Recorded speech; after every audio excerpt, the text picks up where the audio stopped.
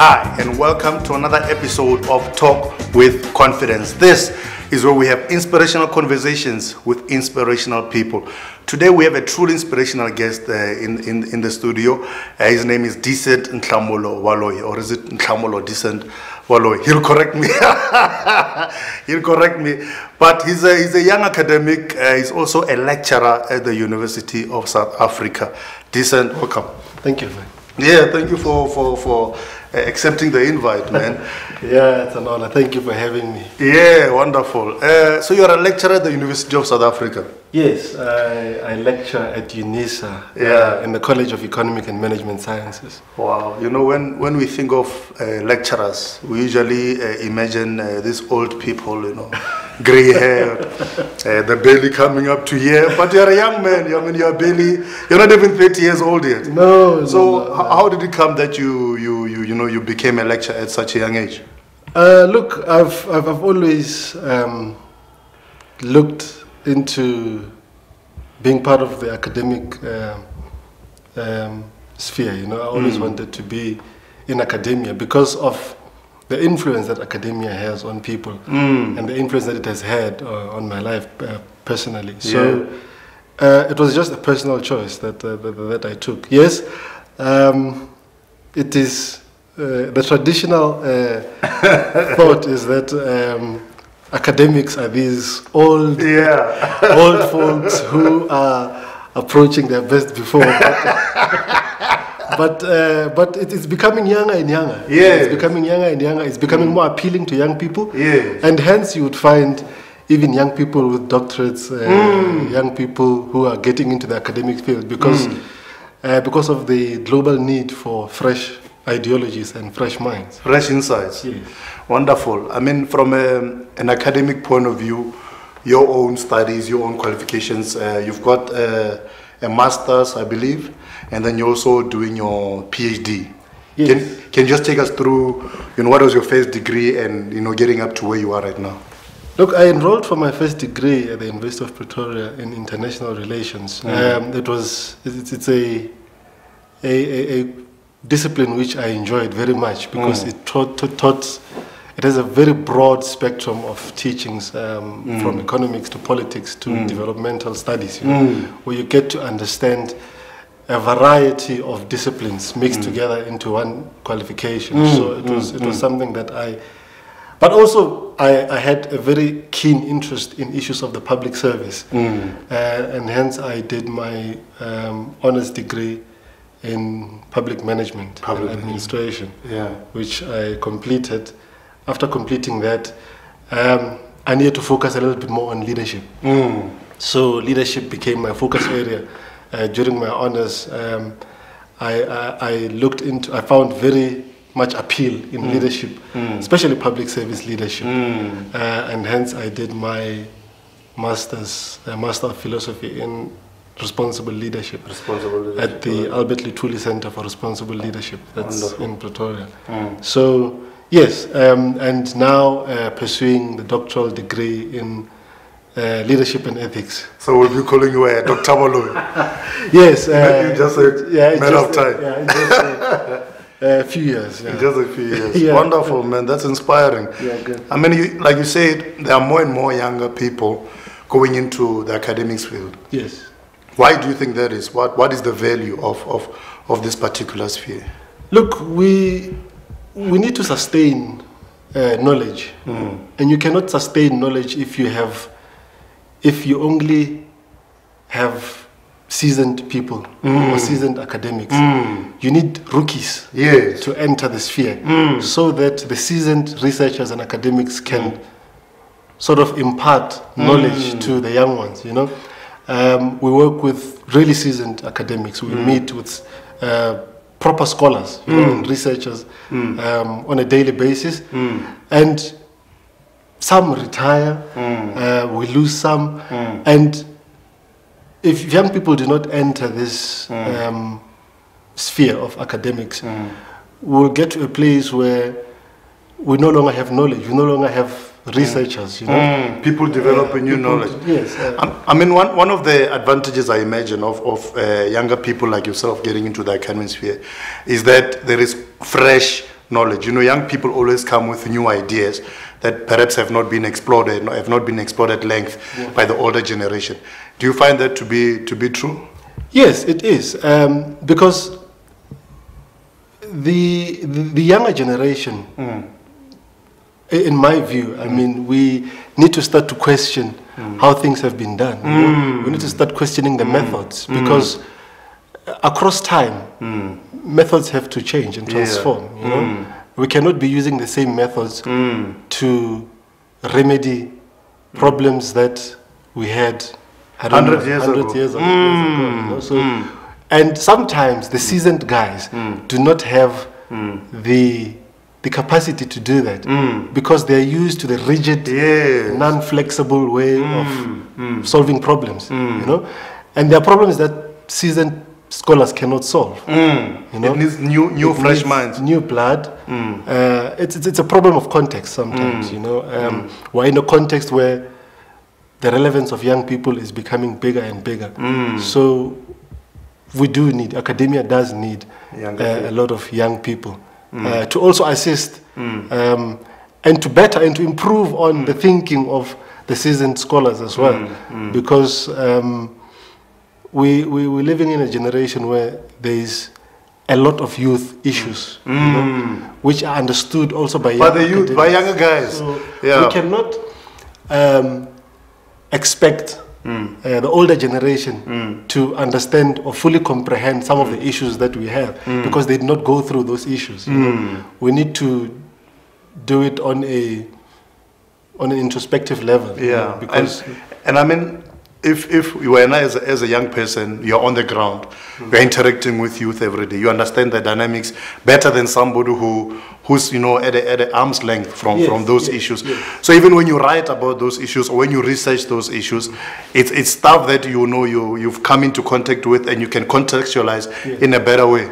Yes, and, and, and, and by saying that, we cannot reject the necessity of um, seasoned scholars, seasoned academics, because mm they ground us. Yeah, you know, true. They true, give us true. grounding. The roots. So we come yeah. with we come with all these nice ideas, and sometimes they are rejected. yeah, it's nice to speak about this yeah. nice new method to develop something, but yeah. they will ground you. Yeah, and say, hey, folk, can yeah. you?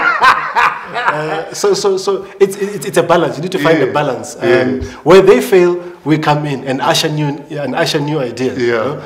uh, but where old ideologies uh, fail, mm. the new ones can come in and assist. Wonderful, wonderful. Uh, you touched on something that I'm also quite passionate about uh, leadership. Yeah. And you said you, you did your master's thesis on responsible leadership. Mm. What is responsible leadership? Look, responsible leadership in essence is to be is, is to take cognizance of mm. the effect that your actions or words can have on the next person. Mm. So what you do mm. doesn't necessarily have to be towards someone or what the, the, decisions that you make today. Mm. Mm. What impact can they have mm. on the next person? You know. And and do you believe that South Africa or Africa, one, one has to have an Africa focus, in fact. -hmm do you think responsible leadership is being practiced on when we look at Africa broadly and what needs to happen, what needs to change? Look, the, the debate on leadership is one that enjoys no universal understanding. Mm. You know, um, and by that I mean that there is no real grounding or definition of to, as to what this concept is. is. Yes. It still enjoys vagueness. Yeah. You know? um, yeah because we speak of different types of leadership. Mm. And on the African context, if, if we speak of Africa and we have to introduce Africa, we have to take it back mm. years back. Because mm. remember, Africa is, is not, in Africa, traditional governance was practiced. Yes. You know? Yes. And we are now in an era of democratic dispensation. Yes. You know? Yes. So now we have to query what are the compatibilities mm. of traditional governance mm. and this leadership mm. that we, we, we, have. We've always had leadership. Mm. We speak of traditional leadership. Yes, We've yes. always had leadership yeah. in Africa. Mm. It's just the mode of practice mm. of this leadership. The kind of leadership, the, yes. the, the, the, philosophy of the leadership. The philosophy behind the leadership that we are practicing. Um, how compatible is it to modern day principles of democracy? You know, so I mean, in, in Africa, one of the problems that are there is, is leaders who do not want to leave office. Hmm. They want to, I mean, case in point, hmm. our, our neighbors. Yeah. You have people in leadership who, who essentially say they want to die in leadership or they hmm. want to be in leadership for up to a point where they can no longer even, even take, Yeah. you know, 30 steps. Uh, what, what obviously that presents a couple of problems. I mean, you, you were talking in the academic field that, you know, you have the old guard, but you always need new, new, new academics, new leaders to come to the fore.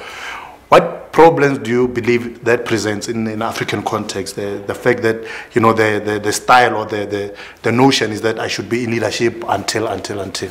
I think one of the issues regarding the African context Mm. is the issue of the philosophy, Mm. uh, our thinking uh, in terms of what leadership means. Mm. Uh, the misconception generally and universally is that leadership is a position. Yeah. And it isn't necessarily a position. Leadership is influence. Mm. Yes. So you can be in a position for Mm. 30 years and have very little influence.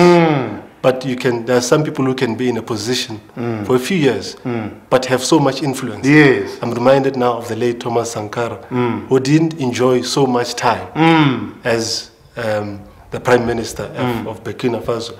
But his influence we still feel, Feel it to today. His, his See. ideology, his Yes, so- philosophies are still permeating So it's the thing. thinking. society. So it's the philosophy Ah. to, to, to stick in one um, position Mm. because they make it about position. They have made it about position Mm. without understanding what it has to do with people gaining influence Mm. from what I say, what I do, and my interaction with them. Mm. You see, and you impacting them in a way. I have to impact, Exactly. and it has to bring in some sort of change. Yes. You know, if those things do not or are not clear, are not evident, then I, I, I, I'm tempted to say it is not leadership. Mm. It is not leadership. It is simply a, a position that you are Occupying. occupying. There's, there's an African proverb I like, I think it's from Ghana. It says, a big chair does not make a chief.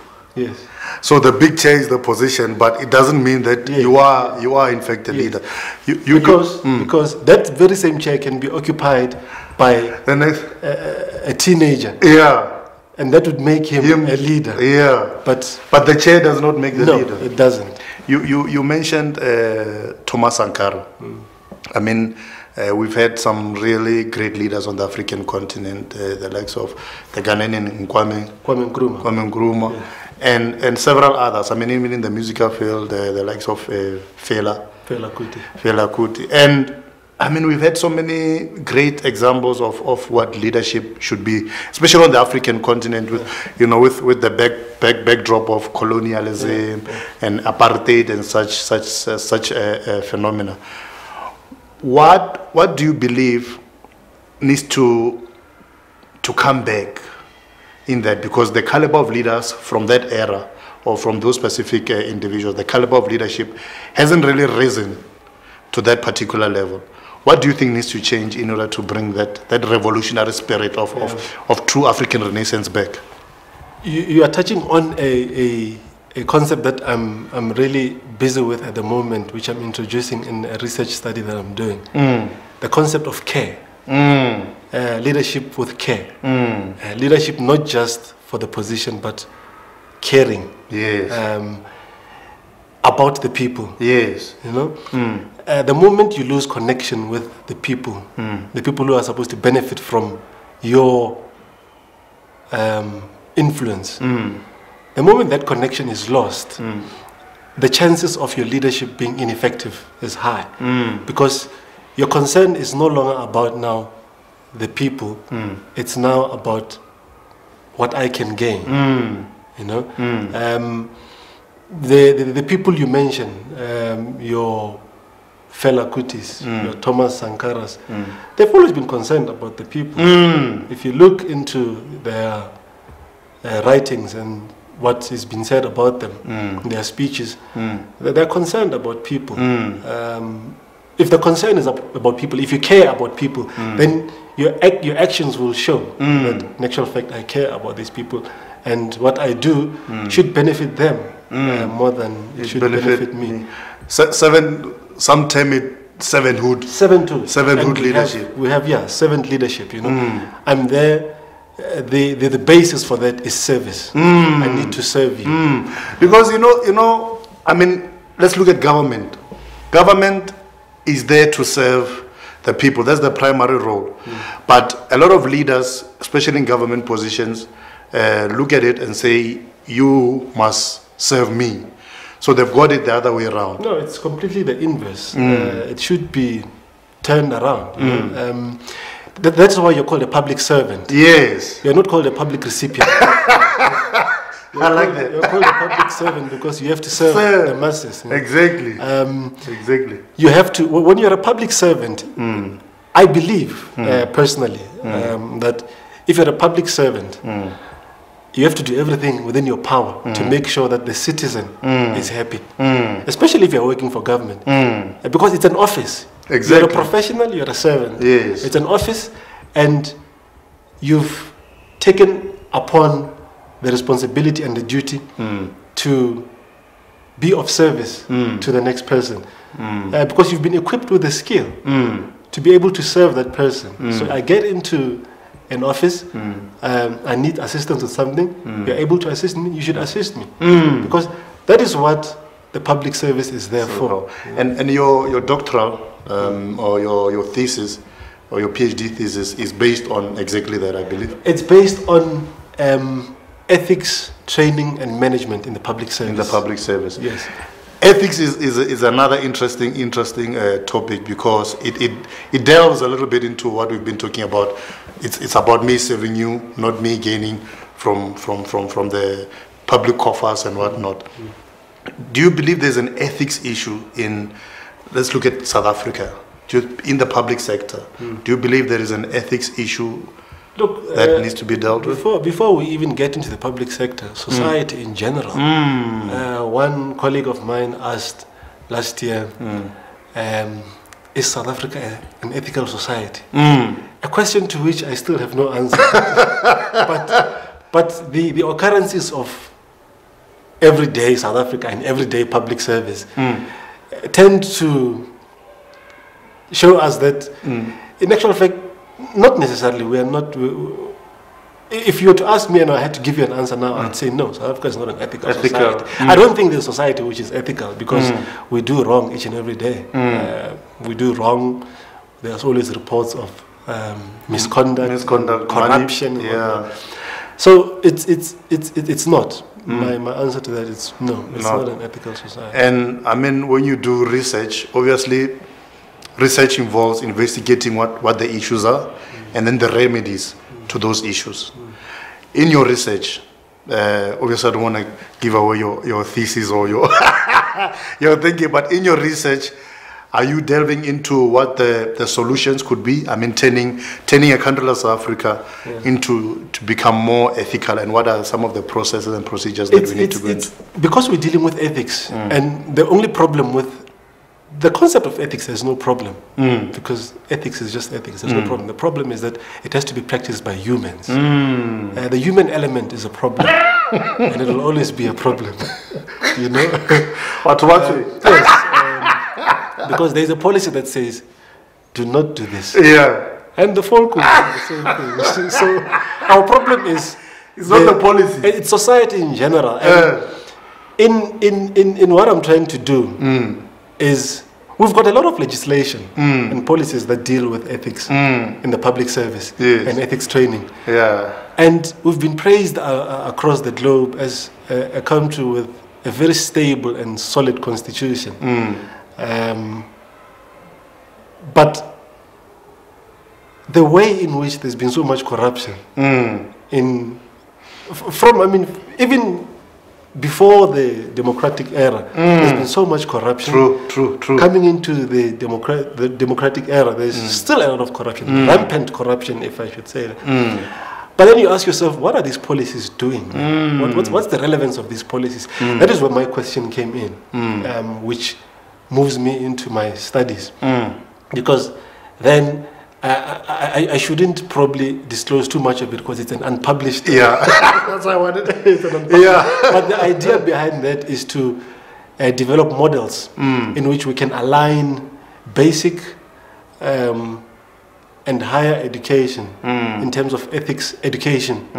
Um, so that by the time, so for the public service to also benefit from it, because um, to come up with a model of um, ethics training and management that is mm. different to the current one that is being used because mm. it seems like it's ineffective. Mm, because we talk about uh, by the way the constitution speaks about that every public servant should um, promote a high standard of professional ethics. That is the first principle that they mention in chapter 10 of the constitution but that high standard is not necessarily seen by all or experienced by or- those or- who are supposed to be getting the yes, services. they are not. Uh, it's not experienced. Um, I mean, it's it's it's it's a dire strait. It's a dire strait. So You, you, you, you, you mentioned something um, that I quite like, and I want to latch on to a little bit. You said even in, in, in the basic. For me, when you say basic, it may mean even going into high school level. yes, from when hmm. a child goes into into the schooling system, hmm. because by the time they come to the public service, it's late. You, I mean, you, you, you've, It's- it's- it's the, late. the habits, the, Yes. The, the, the, the, the norms of behavior have already been at, at foundation level, Yes. have been set. And I mean, somebody has been behaving in a particular way. You may find the, pers- the, the folk who are stealing uh, uh, sweets in primary, uh, high school, they were snatching uh, cell phones. Yeah. And then when when, you get to government, there's 50 million, which is at my disposal. So why? I've been, I, I have the character of, of, of, taking yeah, um, without consent.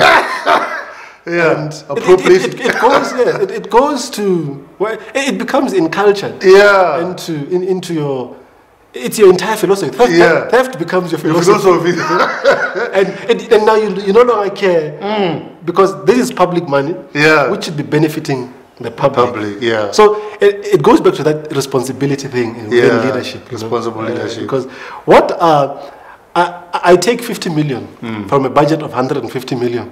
I take 50 million and I keep it to myself. Hmm. Um, Then it's supposed to serve a particular purpose. Mm, it means there are kids who are going to go hungry. Yes. There are people It's a, it's a vicious cycle every time. every time. It reminds me of a quote by I think it's Frederick Douglass who said, "It is easier to um, build strong children than to repair broken men." Mm, You know, I like Uh, that. That's why my concern is to see if we can find an alignment Yes. from and, and, and we must not neglect also um, the importance of home uh, the, the importance of the home in terms of educating children Because ethics has to be entrenched in the It home as well. It's something you have to live. You have to live. You don't mm. necessarily that's why some there's a debate whether you can teach ethics or not. Ah. and you learn ethics you know. Mm. You learn it. So mm. by seeing by observing. And if you have it from a young age there are good examples. There are so many good examples of people i know who've, who've come from good backgrounds and have been taught well to do certain things. And they grow up with it you know. They grow up but if you don't have that um, it's it's it becomes a problem So essentially, ethics is everybody's responsibility. is it is everybody's responsibility From, a, from an academic point of view, Mr. Baloyi, uh, soon to be Dr. Baloyi, what do you want to achieve? Look, um, academically, yes, uh, short term uh, is to complete the doctorate um, and also continue to contribute to the body of knowledge. And we have a huge responsibility among us, uh, be- uh, upon ourselves as academics, is that we have to continually hmm. be at the forefront of contributing to the body of knowledge. Hmm. And we have to solve societal problems through hmm. research, you know. And that is one of the things that I'd like to do, to produce groundbreaking research uh, so that academia can benefit, so that the public service can benefit, mm. and so that society at large can benefit. Mm. You know, we talk about the knowledge economy. Mm. You cannot advance a knowledge economy if you are stagnant in terms of reading and researching. So, I, my wish for myself is to continue um, participating with other scholars and society in terms of finding solutions to the social problems that we have. It may be little, um, but you eat an elephant bit by bit. You know, Exactly, Uh, we'll get there at some point. Wonderful. Research upon research, we'll get there. Uh, that research will solve a problem somehow because it's problem based. So we'll, we'll be able to solve problems somehow. And I mean, in the near future, uh, I've, I've always loved this concept of professorship. it, it, it, it always sound, it, always sound, you always hear these folks. Yeah. Uh, there's an associate professor, Yeah. uh, a full professor, a, an extraordinary professor With, with those, uh, with those, hats, caps of yeah. theirs uh, that you see when you attend uh, Yeah. graduations and stuff. yeah. It's also that kind type of an interest that you're able to profess knowledge. When you're a professor, you know, You profess. knowledge. you're, you're a big shot. man. but but um, it's it's it's just the the, traje- the, the trajectory of um, academia. You, know? you develop, and as you develop, as you produce research, you get to professorship, and perhaps maybe later into more executive positions. You know, like Wonderful. I see you there. I see, I see you there already. no, uh, it's a, it's, a, nice thing to have, Yeah. but a huge responsibility. No. Now, but with time, with time, time of course, you have to, I mean, develop yourself Mm. such that you can be able to take the pressures of such a high office. You know, it's like, Mm. Definitely. uh, yeah, it's like, it's, it's like, if, if you've seen the oath that the president takes when he assumes office, Yeah. you can see that it's a heavy office. Yeah, there's a responsibility, responsible leadership. Yeah. Responsible leadership. responsible leadership. If if you were to say something to a, a, a young person who is thinking about going into uh, academia, the academic space, and maybe they're a bit reluct, reluct, reluctant, or there are people saying, "No, man, uh, don't go into that. It's, it's some deem it to be boring. There's so much reading, so much research, so much this and that." What would you say to that young person? Look, um, it, it, it looks like, I, I think in general, society will think that academics has to do with reading. Academia does not have to do with reading alone. Academia is there for knowledge. Uh, knowledge comes also from interaction. You, know, you interact with people. Um, a young person who would love to join academia and has that type of mentality. Um, the thing about academia is that you, it, it has to something in you has to be fueled. You know, The love for it has to be fueled, and you you get that fueling as you go, as, as you interact with academia. you know. Uh, but the opportunities to influence mm. are much bigger mm. than in so many industries. In so many, exactly. because your work is seen throughout the world. Mm. You publish a paper and it's seen throughout the world. You know, whereas in another office, what you do in the office remains in, in the, the office. Uh, but in academia, if you want to influence a, the multitudes through research, and it's interesting because you are there to solve problems. Yes, exactly. You- it's a high office. Yeah. It's, it's, it's a high calling. yes, It's a high calling. Uh, others would say it's the equivalent of being a high priest. because but it's, it's believable. I mean, if you look at the robes Yes. uh, that uh, adorned, uh, what they call it, regalia. yeah, the of the academic return. Yeah, it's it's it's it's it's it's, it's, it's in line with that. Yeah. You know? Look, uh, academia, it has to, you have to respond to the calling. And if you don't, you won't find it interesting. But it's such an interesting, you know, to, to solve a problem through thinking. Yeah. It's, yeah. it's so rewarding. yes. Because thinking is, is problematic. You know, there's a there's a quote I like. Uh, I think it's by John C. Maxwell. He said, "A minute of thought is more valuable than an hour of talking." True. I, I had one professor say in one of the sessions I attended that the most important thing to do Yeah. is thinking. Yeah. It's, it's difficult. in actual fact, um, I sit with um, our.